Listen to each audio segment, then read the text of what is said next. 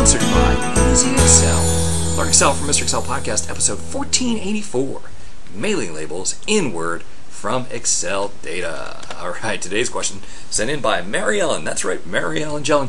The day she wanted to do some mailing labels, and uh, she said, This has to be easy. And I'm like, No, it's not. It's the hardest thing in the world. Uh, first off, we have our data in Excel, and I'm going to save that. So we'll save and file close. Then we have to switch over to this tiny little add-in. This tiny little add-in, uh, you might have heard of it. It's called Microsoft Word. All right, and Microsoft Word is good at a few things that Excel isn't good at. Uh, probably about three, and one of them is the mail merge. So we start mail merge, and we are going to create labels. And the labels I have are the 30 per page, the 1 by 2.63. Yep, that's it. Good. All right, so now, what the heck do we do now? We see these uh, paragraph symbols and these other next record symbols? Well, first we have to select recipients. And am I going to type a new list? No, I'm going to use an existing list. And of course, that list is not coming from any of these types of things. It's coming from Excel. What else?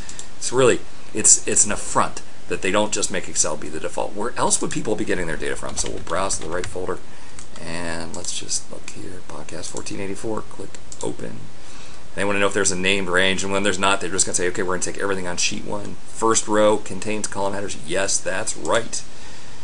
All right, now, what the heck do we do now? Well, the next place we go from select recipients is insert merge field. We're going to build our label. And see, these are the fields that I have, name, street, apartment.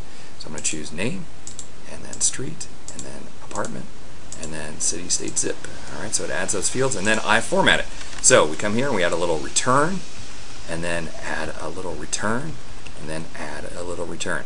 Now, if there's anyone here watching this who knows anything about Microsoft Word, or maybe you have a friend or the admin who knows something about Microsoft Word, or even knows a Microsoft Word MVP, my question is, what the heck were they thinking that they force us every single time to come here to Home, open this little drop down, and say, remove the idiotic space before the paragraph?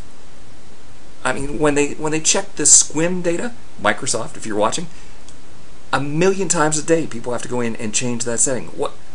It's the most insane thing. Now, there's insane things in Excel. I'll grant you that. But this one, for us, people, non-Word people coming over to Word, what are you doing here? This just drives me crazy. But that's my little rant. Let's go back to mailings. All right. So now we've created the first label, and then the completely unintuitive thing is we have to say we're going to update labels, and what that does is that takes the layout here in the first label and it replicates it throughout the whole first page. So right now we have a one page document, 30 labels, and all of this stuff. All right, so start mail merge, choose the type, select recipients, Excel, uh, insert merge fields, and then update labels. Once you've done all of that, then uh, heck, you're practically done. Just come out here to finish and merge, and we want to edit individual documents. Let me get that so you can see it. Edit individual documents. Um, that's the code word for yeah, just put the labels in Word so I can print them or save them or something like that. Um, and we want all, click OK. And there is our data from the original data set. So here, this one had a suite, uses four lines. This one didn't have a suite. They don't leave the blank line there. They're pretty smart.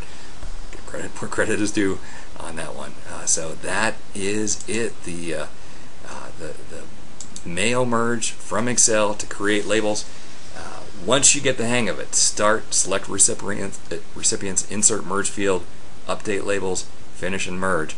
Uh, it's easy, but if you don't have those steps, this is one of just those horrific things.